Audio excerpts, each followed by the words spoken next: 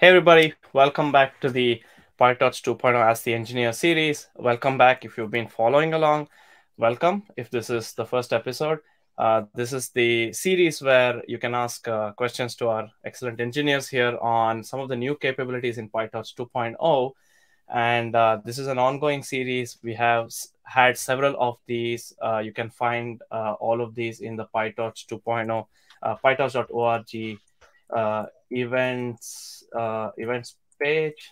Uh, there you go. I can't type today. Um, there you go. Uh, PyTorch uh, events page. You'll find all the upcoming ones and also the past ones. And if you're watching this on YouTube, you know where you can find the previous recordings. They're all on YouTube. Feel free to go check those out. And uh, uh, let's start with a quick uh, round of introductions and uh, we will get dive deep into the topic. So I am Shashank. I'm a developer advocate at Meta. And uh, who wants to go first? Sure. Hi, uh, Both. sure, I'll, I'll, go ahead. So, hi, I'm Edward. Uh, I've been working on the PyTorch project for uh, five years now. Um, you may also know me because I also do the PyTorch Dev podcast. Although I haven't done an episode recently, but uh, hopefully, hopefully we'll be starting it up again soon. And um, I also have a YouTube channel where we um, have posted other stuff. So, um, you know, happy to answer questions with uh, anyone who's got them. That's awesome. Go ahead. Uh, you're muted, I think. Stream, stream bloopers. uh, the joys of live stream. Um, no. uh, uh, if you're if you're listening to us, uh, t- tap something in the comments. Uh, I love. Yeah, yeah. So, yeah, let us know uh, if you have questions that you wanna start asking right away. Uh, we'll we'll start uh, we'll start the show with questions. Uh, we love questions, and that's the whole point of the series. A quick reminder to keep asking questions. This is not a broad. Uh, it's not a webinar. This is supposed to be a live Q and A. So we will interrupt our presentation to answer your questions. So please feel free to ask questions. Um, can you hear me now? Yes, we can. Yes, um, loud and clear. I'm Elias. I've been an engineer on uh, PyTorch for a while and uh, been working on PT2 um, for you know as uh, in the last year or so. That's awesome. Uh, welcome, Elias. Welcome, Edward. We have, we even have uh, um, uh, PyTorch celebrity, if you will, right, with with Edward here. So um, today we are talking about uh, dynamic shapes, right? And uh, when I think of dynamic shapes, I think of you know variable length sequences or variable sized images or even batch sizes, I suppose. Is that the right um, topic we're discussing? And we already support this in PyTorch. Uh, what's new? What do we what do we have in PyTorch 2 that's going to be different? Um, so whoever wants to take that first, and let's kick off the discussion there, I guess.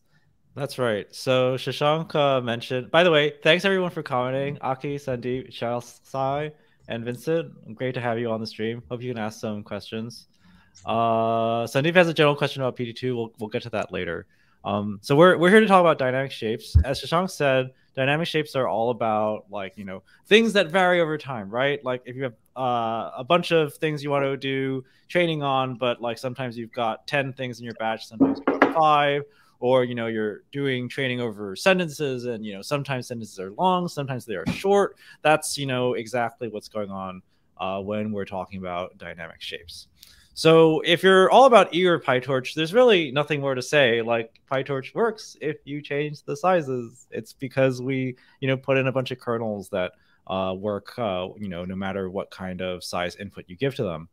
And that's that's it. That's the end of the story. But with PyTorch 2, we have a compiler and when you have a compiler, it's not so easy to figure that out because, you know, we want to do specialization. We want to like give you the fastest code that, you know, can possibly run for any given operation you want to do. But, uh, you know, sometimes you're like, well, but I don't want to only be able to handle sentences that have 100 characters in them. So you have to do something different in that case. Um, Elias, anything you want to add here? Um, nope. That sounds good. Thanks. So you mentioned Edward, you mentioned performance and PyTorch 2, and I, I see a question that's about what's interesting in PyTorch 2. So the way I see it, the broad overarching theme there is performance with PyTorch 2, right? With Torch uh, Inductor Yeah, and that's right. Dynamo. And there's a in-depth get started guide which I'm going to share right now in the live stream for those interested in checking out what's new in PyTorch 2. And today's topic is related to that. It's one such topic, and we've been doing live streams on all the individual topics. So uh, the two links I shared with you, the blog post and the events, uh, is is your go-to resource right now.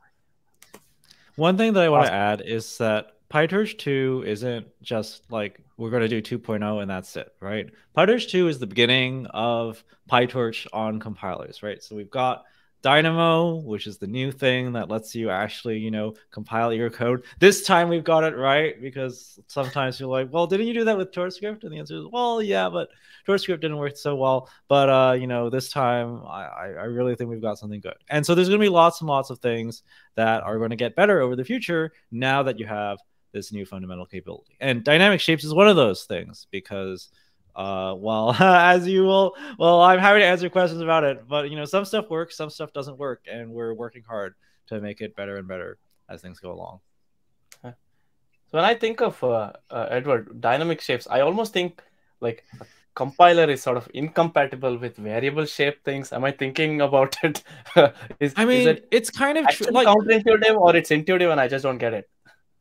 In principle uh by the way sandeep yes the these will all be uh, recorded and you can view Mhm. them on the series uh shashank where where is I'll it again share those links with you right now. Uh, Yeah. Thanks for asking. Uh, all the previous recordings are on YouTube. If you're watching this on YouTube, if you're watching this on LinkedIn, head over to YouTube after the stream, um, and you'll find the previous recordings there. And I'll share the link. So to answer the question about like is are all other compilers static? The answer is kind of yes. Um, I mean, in principle, it should be possible to write a compiler that can handle dynamic shapes. And like if you think about like a C compiler or a C compiler, right? Like obviously, you know, they they can handle all this kind of thing, not a problem. But in deep learning, you know, there's a very very heavy bias towards uh, you know, having compilers that only work with static shapes. So we also think that, you know, PyTorch 2's support for dynamic shapes is kind of new and interesting. It's not something that I mean, there's plenty of work going on in other projects to like bring dynamic shapes, but you know, we we like had this as one of the really important things we wanted to uh, have in the 2.0 release because you know PyTorch's history as an eager mode framework means lots and lots of people you know love to actually write code that's very dynamic, and that's you know that's the thing. We have a lull in the questions. So Elias has prepared some stuff for us to sort of uh, get the juices flowing. But as I as we said, this is not a webinar. We're just here to answer questions. But Elias, Mhm. you wanna you wanna show us what you got? Um, sure. Um, so uh, Shashank, do you want to share my um, screen? I suppose. Yeah. Um, Yeah. So Okay. I've shared this uh, Colab um, on uh, fake tensors and, and torch dispatch, which are some of the uh, mechanisms behind our, our, our uh, dynamic shape support. Um, and they're also kind of useful, um, you know, in their own right. So we're going to walk through it and, uh, you know, ask questions as they, as they come. Um, so first thing, just make sure you have your build right. Um, this is available on the nightly, but um, you know you have to make sure uh, you're recent enough. So, um, anyways, torch dispatch. We're going to talk about fake tensor is um, quickly calculating shape mismatches in your code um, without any side effects, and then uh, finally, you know, training with the maximum batch size. Um, and, Elias, uh, so this is just Don't mind me interrupting quickly. This is a question we get every live stream, so I just want to mention. So everything with uh, uh, in this live stream that we're showing are are in the nightlies. They're they're preview. They're in the nightlies. So if you want to get them, I think we'll share this notebook with you. It's on the top. So to go get the nightly Docker container or pip install from the nightlies for you to try these out. They're not available on the 1x, right? So I mean that's obvious. so I'll share the link to uh, this document. I know there's a question here on uh, can you find access to the code, and I'm going to share this notebook right now. Sorry, go ahead. Um, thanks. Um, so what is Torch Dispatch? Uh, so Torch Dispatch is a way for you to um, overload PyTorch code with your own custom imp implementation, um, kind of in the same way that you can run model code with Float 32 or Float 16. Um, you can now extend it with custom data types or, or semantics, um, interpret things lazily, or really however you uh, see fit. Um, there's a, a, more detailed explainer um, that I've linked in the Colab uh, Horace's explainer here. So if you you know want all the nitty gritty, I'd recommend reading that. Um, at a high level, you know there are tensor subclasses and there are uh, torch dispatch modes. Um, so we're going to walk through some examples and, and, and, look at them.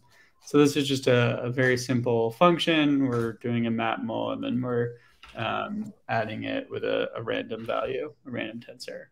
Um, so the first example of um, overriding this with custom functionality is through a subclass. Um, so we have this logging tensor, which all it's going to do is print out the um, kernel that we're running as we're running it.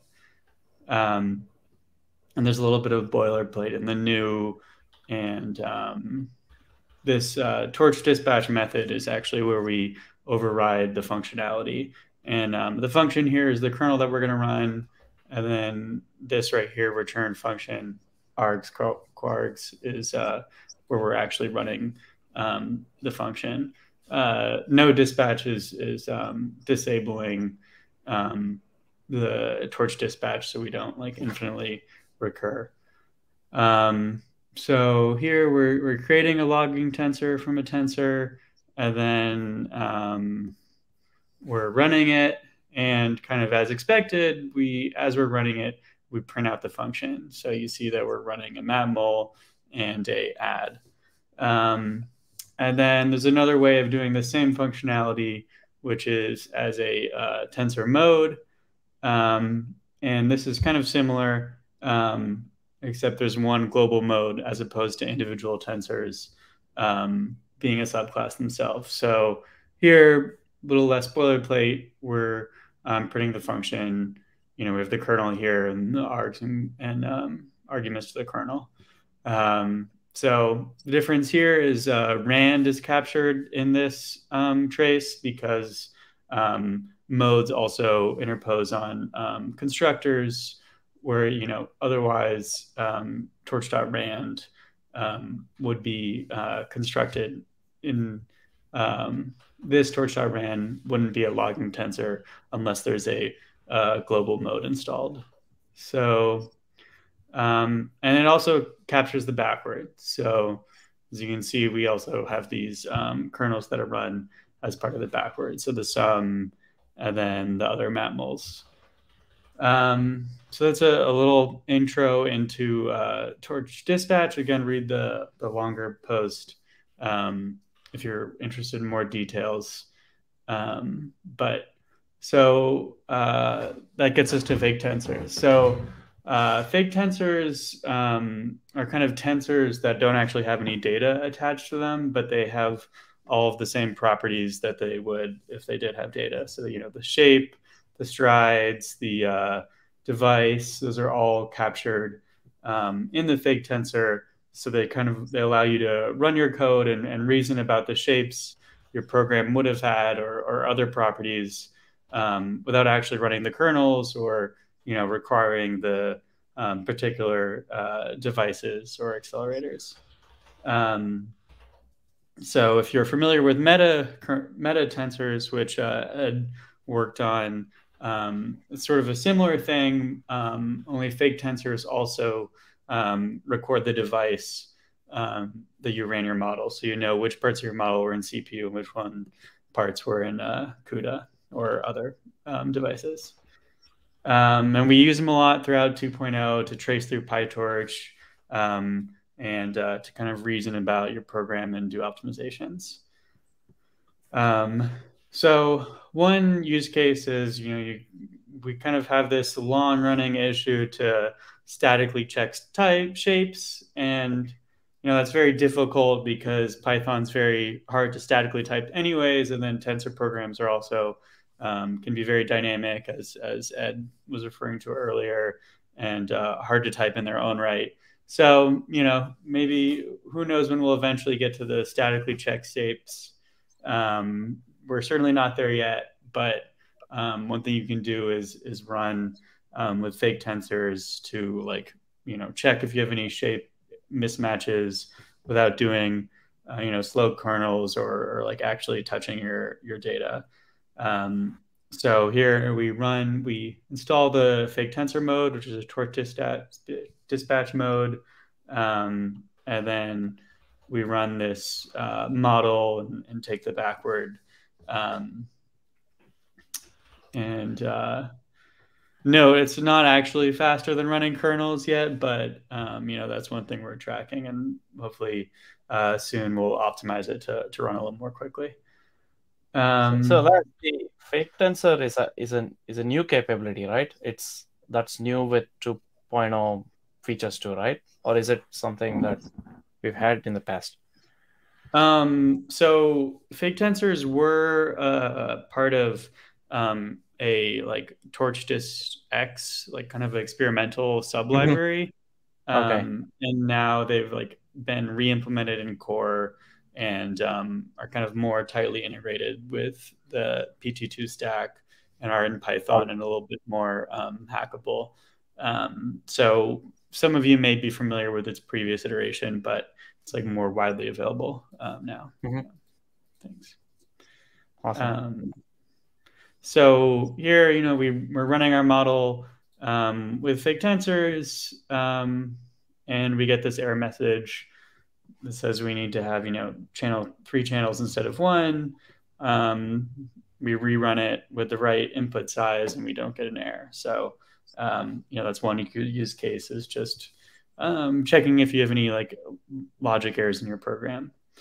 Um, so uh, another thing we can do is um, computing um, the maximum batch size. Um, so uh, to do that, we're going to have to keep track of all of the uh, live fake tensors um, in our program and like the, the storage sizes um, that they you know would take if they were real.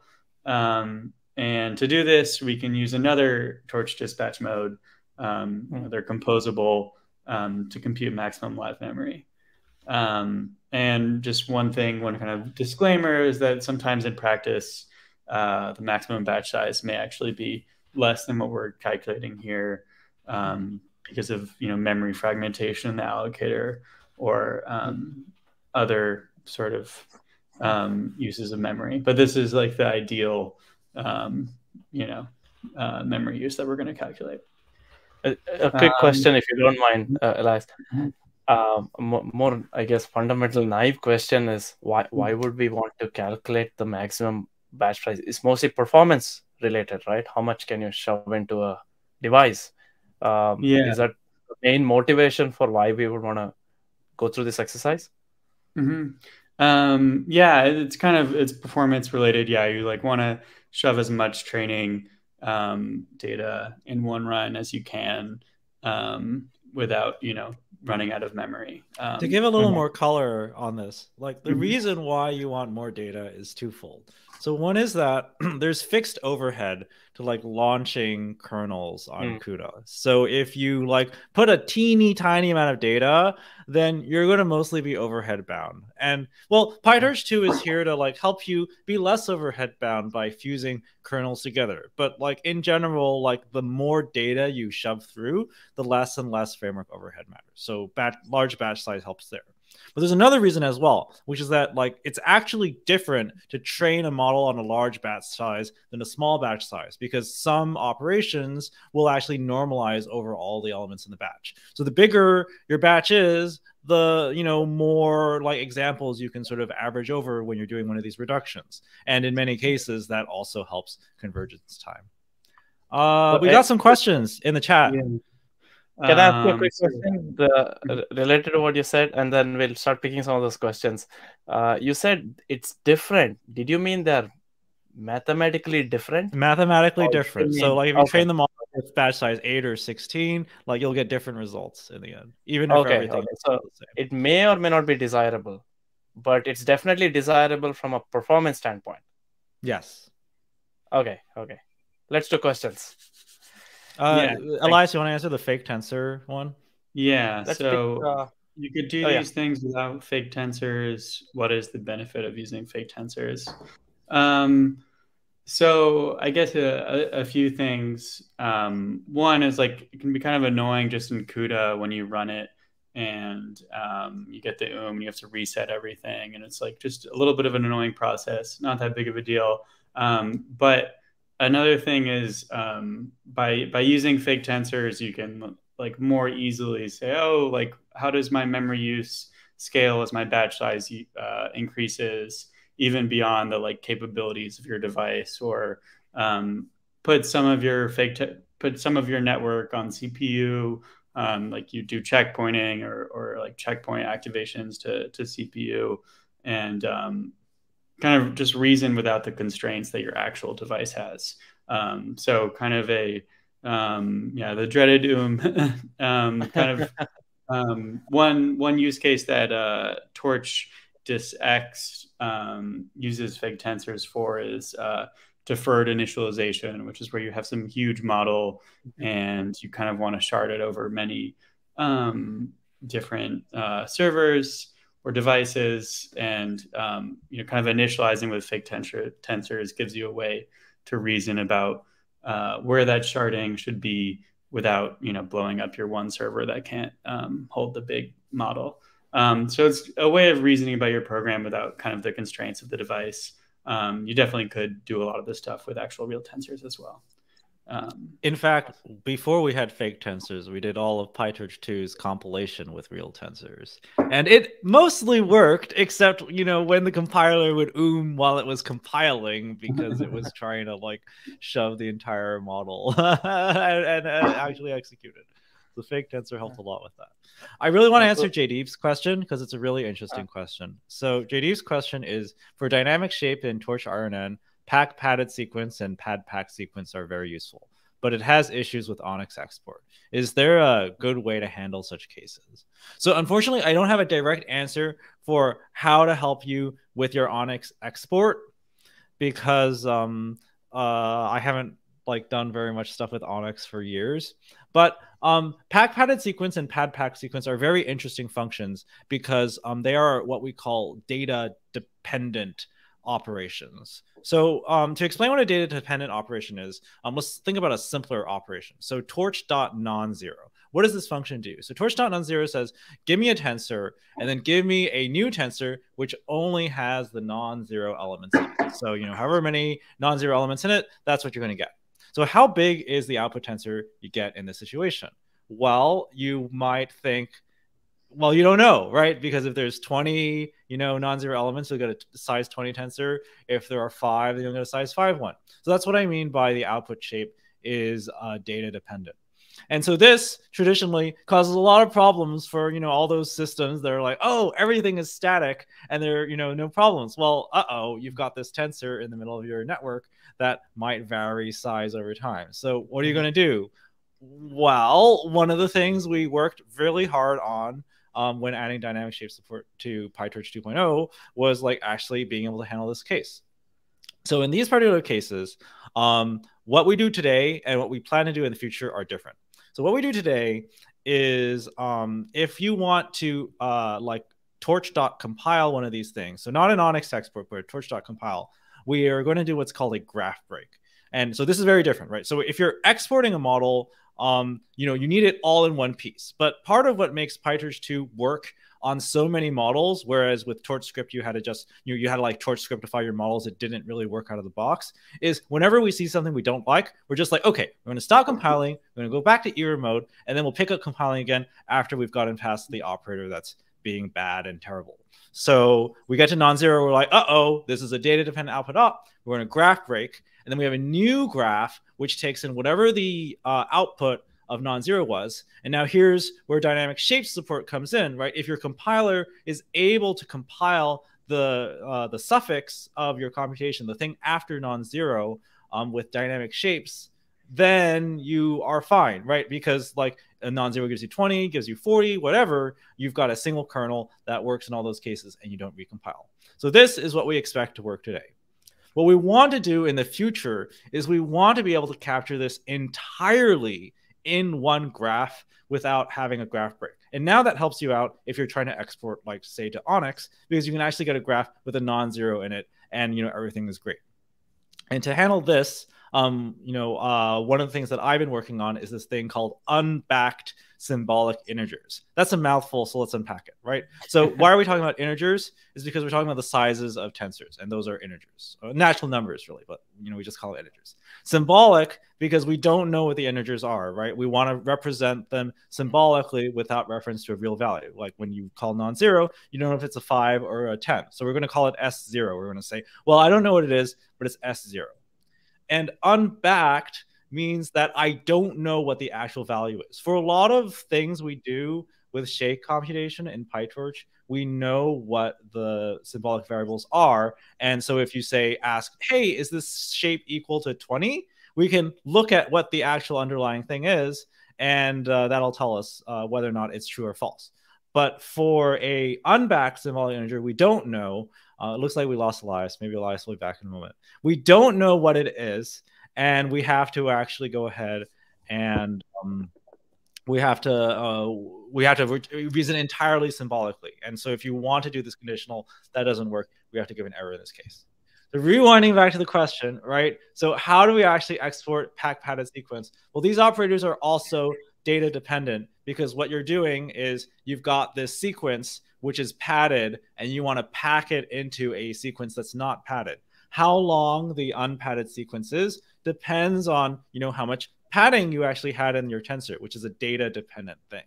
And so if unbacked symbols work and dynamic shapes work, then you can actually export these programs without actually, you know, needing to uh, you know, like it just doesn't work today with ONNX export. And with dynamic shapes, it will work. Well, that's the hope. We're we're not quite there yet.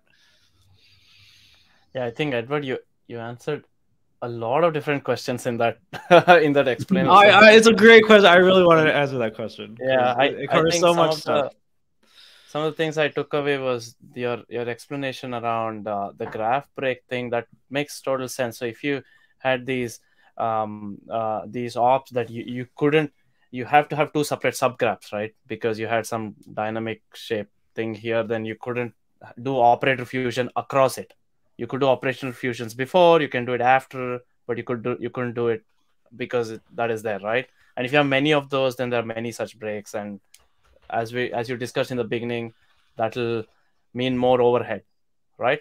I get that summary right? More overhead Mhm. for uh, device communications and and all that. Um awesome. Thank you for that. That was that was a good explanation. Uh I, I while we wait for questions there are two that are sort of a digression to our topic i don't know if you want to take them feel free to take them this is about support for Yeah, pytorch sure. 2.0 on, uh, on apple silicon i two there are two people who asked the question so i'll just summarize that is is it supported um and and related is is mixed precision supported Yeah. So we at at, at the current time and for the upcoming 2.0 release, we're not going to have a MPS backend for PyTorch 2.0. However, there's no reason Let- we couldn't have uh, one. unravel that a little bit for the rest of MPS is Oh yeah, so metal MPS is metal performance shaders. shader. Okay, that's your equivalent to, I guess, not CUDA, but one level lower for a GPU user. So that's sort of the, um, well, CUDA is a level higher than the GPU Uh, shader. so- MPS is kind of um, it's higher level than CUDA in my opinion. oh, it is. Okay, okay. Yeah, Because but, but it, does, it doesn't really matter. It's just shaders. this is the thing Anyway. for Apple GPUs. So if you want Right, right. NVIDIA, you do CUDA, and if you want Apple, Yeah, it's yeah. Metal or MPS or So that's or- a low or- level API to program a G, uh, an Apple Silicon. That's yeah, that's okay. right. So But, uh, it it totally makes sense to do it. It's just like sort of not currently announced so far. Okay. Elias? and uh, mixed precision should work without with MPS, not on 2.0. So. It does, yeah, uh, in either mode. And also, if you want to just CPU, do CPU training on Apple Silicon with mixed Mm. precision, precision, that all works. And like, I mean, you know, the the the Apple Silicon process CPU processor is also pretty nifty. And we have the fine folks at, well, weirdly enough, Intel um, working on the CPU backend. in PyTorch 2, and they're they're they're also hard at work, um, you know, giving you good CPU performance as well. So check that out as well. That's awesome. Uh, end of the day, I think the developer experience should be torch.compile and everything is magically faster on every hardware that you're running this on. I guess that's the holy Yeah, grail that- user. that's, the, that's the holy grail. yeah, yeah. There was Um, also a question about um on TPU, and there actually I have more to report. So the way you can run PyTorch on TPUs uh, today, uh, TPUs being Google's um, you know deep learning hardware, um, is via our PyTorch XLA integration, which uh, you know basically it, it's kind of it's kind of like uh, pre pre PT 2.0, where what they do is you run your model and you capture all the operations that happened on it using what's called lazy tensor and then they ship that off to xla to compile and so they are actively looking at integrating directly with dynamo for xla so yes pytorch 2 and xla and tpus this this is this is this is a go this will happen in the near future Yeah, I think we had a talk on. Um, uh, feel free to check it out for folks who are joining in today. Uh, we had a talk on backend integration uh, where we where we discussed um, how new how hardware vendors like you know TPUs or or um, GPUs and others could actually um, integrate with the PyTorch 2.0 graph compilation system, right? The Torch Dynamo and Torch um, Inductor and all that. So there's a set of low level APIs they can use to integrate, which is different from the previous path, which was uh, XLA. Uh, which brings me to a question that I have, and I don't I don't know if it makes sense in this context, but would the the symbolic support that you're doing with dynamic shapes, how will it percolate down to the I guess torch prim and further down the stack for hardware? Would they have to each address it differently? I, I don't know if that that makes sense. How would that flow through the existing compiler system in 2.0? Did my Elias, question you- make sense? Elias, you want to Um, this one Yeah. Um, so I guess like with prims or with dynamic shapes, like it's it's going to be infrastructure that's like available for them. So in, in the prims, you know, kind of limiting the operators they'll have to um, implement for PyTorch, which makes it easier to add a backend. Um, and for dynamic shapes, it should help them, you know, like consume like uh, what is how is this you know size calculated from the inputs et cetera so um, hopefully you know the kind of information that we capture at the higher level will be used by backends in, in kind of the same way that we've used it for our own backend um, as things flow down the stack Awesome. Uh, andy do you have rock has a another question yeah Yeah. Is symbolic rank a planned feature for dynamic shapes, i.e., ufunc style arbitrary leading batch Mhm. dimensions? So, uh, just to um, help uh, the others out on the stream, so what Andy means when he talks about ufunc is this concept in NumPy called uh, ufunc, short for universal functions, and it's a very fancy way of saying basically things that are like add, mul, or uh, div or sub, the things that you know uh, they're point-wise operations, and you can add as many dimensions as you want, and they sort of generalize in the normal way. Um, so in this particular case, um, a symbolic rank might refer to like, hey, I've got a tensor, and maybe I want to have one batch dimension, or two batch, or three, you know, as many as you want. Uh, you know, why not? Uh, whatever. And so, unfortunately, the answer to the question is no. No symbolic ranks for you if you really need this to work, what you should do is you should reshape your tensor to squash all the batch dimensions into a single dimension and then pass that to, you know, your torch compile thing.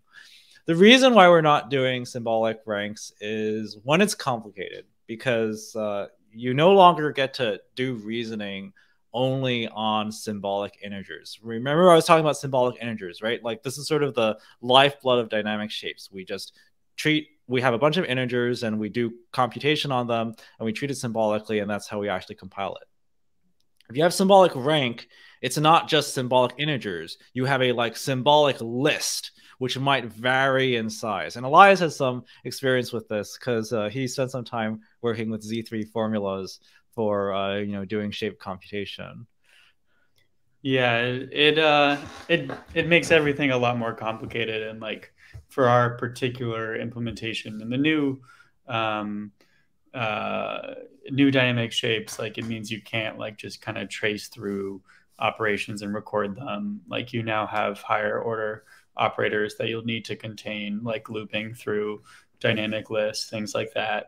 Um, but as as uh, Edward mentioned, um, like using reshape or using a, a, torch dispatch subclass potentially to uh, kind of contain your your higher level multi um, uh, unbounded batch dimensions um, tensor and and actually implement it with with fixed dimension. Um, ATen operators might be a, a way forward, which um, you know relates to the the Colab I'm, I'm sharing. We um, don't think there are too many use cases where you know you really legitimately need uh, symbolic ranks. Um, the one that I can think of that isn't uh, well, okay. So there's two I can think of. So one is um, uh, Pyro, the probabilistic, and some other probabilistic programming frameworks. They often like allocate a dimension per variable that is being reasoned about. So you get these like wacky like 128 dim tensors, and like that's going to work very poorly with torch.compile because we don't have symbolic dims. Sorry, so that that won't work well. And the other thing I can think of is if you're just trying to like compile a kernel that like yeah is general purpose and doesn't recompile um, you know, like a ufunc, right? You want to write your own ufunc and then compile it with Torch compile and then call it in a normal PyTorch era program. And the answer to that is no, we just can't do that. You'll just end up with a specialization per dim. There's a non-dynamic shapes related question, but since we don't have any other questions, uh, we should do it. Uh, yeah, there um, is a new question, and uh, I'll just read it out. So uh, we have people joining in from different platforms. So I'll just read out the question so everyone knows. So this question is about as PyTorch 2.0 became more complex, it became harder for newcomers who want to dive into low level components to understand it. What would you suggest as resource for better understanding? Uh, I have thoughts, but do, do, do any of you want to take that? We can, we can each give our takes, but um, I think uh, it's true. It's it's more complex. There's a lot of different components. Um, I would uh, like hopefully these developer series, other kind of posts that we've been making will be a good enough introduction to any one of those components, whether it's like uh, you know dynamic shapes as Edward is mentioning, or like our autograd handling or, or our lower level or Python tracing or our like lower level code gen. Um, so hopefully there are good resources and tutorials there. Um, I'd start there. Um, you know, go to the code base, like look at recent PRs, look for um, small issues. Um, at the end of the day, you know, the, the best way to kind of understand something, I think, is is to contribute. So looking mm. for open issues or, or recently kind of closed smaller ones and reading code um, i guess would be my my thoughts but i don't know ed what do you think? Well and talking about contributions this is one of the things where i think pytorch 2 is actually substantially better than some of the other uh, sort of compiler uh, you know uh, attempts that we made. I'm i'm thinking specifically of torchscript and the reason it is better is because all nearly all of pytorch 2 stack is written in Python.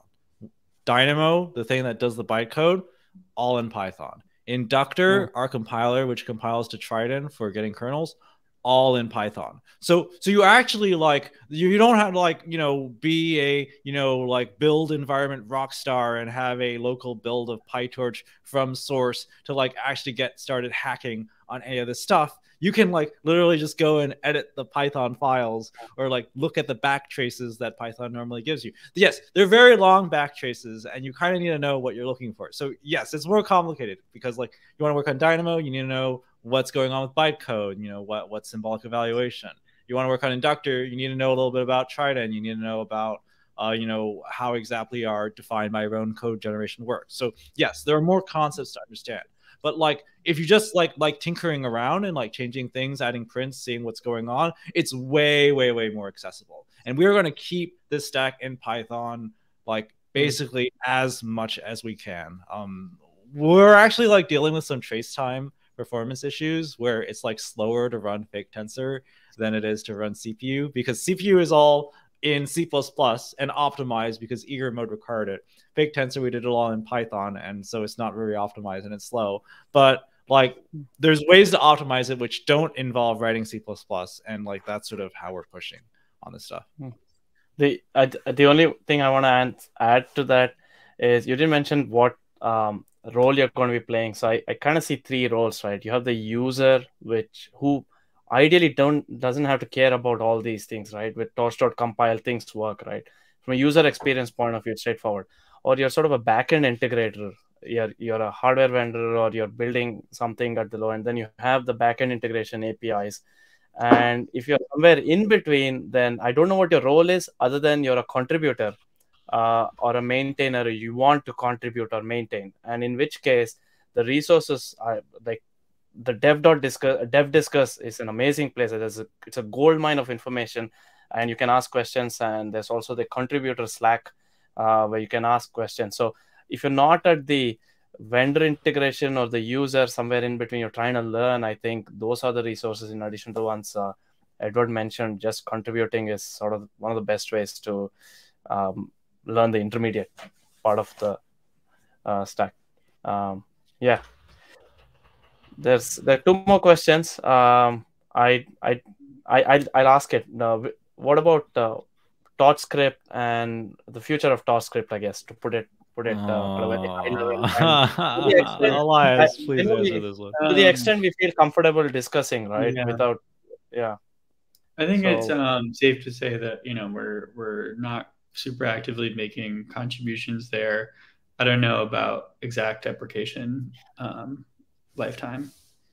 So, uh, yeah, I mean, certainly for um, like training or or you know whatever we recommend using torch.compile um, for some of the other use cases um, like such as server edge yeah there's no not a not a firm de- deadline yet on replacements. Okay. We do have fans of torchscript uh, in the in the comments so